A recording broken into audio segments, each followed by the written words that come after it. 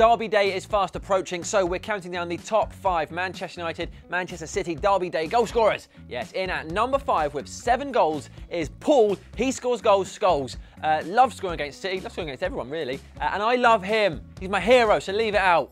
Scholes's number five. Uh, in at four, loads of people drawing with eight goals apiece. We have Joe Spence, who played for United, uh, Brian Kidd, who played for United in City, Colin Bell, who played for City, and Eric Cantona, who we will focus on. He scored uh, the first goal of a 5-0 demolition derby, got put through by Kanchelskis, bent in a beautiful left-footed curler. Uh, in at number three, Bobby Charlton scored 249 goals for United, nine of them coming against City. His first ever against City was at the tender age of 20, came at Maine Road in a two-all draw in 1957, where rumours have it Bobby had hair. In at number two, it, there's two people, joint second, Francis Lee and Joe Hayes.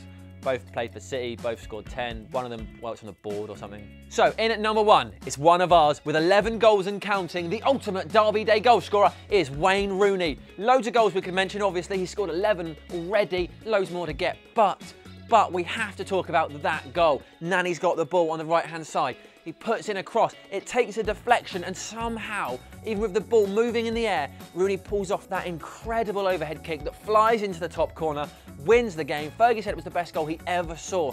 And it just was. It was just incredible. And then he scored it, and then he thought about the Titanic because he did this. Yeah, he did. Wayne Rooney, the ultimate Manchester Derby goal scorer. He's a Preston manager. He's an Everton manager. He's not a Man U manager. Never will be. Never was. Go and get Van Gaal. Go and get Hiddink. Go and get a guy who's used to a big club who can walk in here and take this mantle on of this club.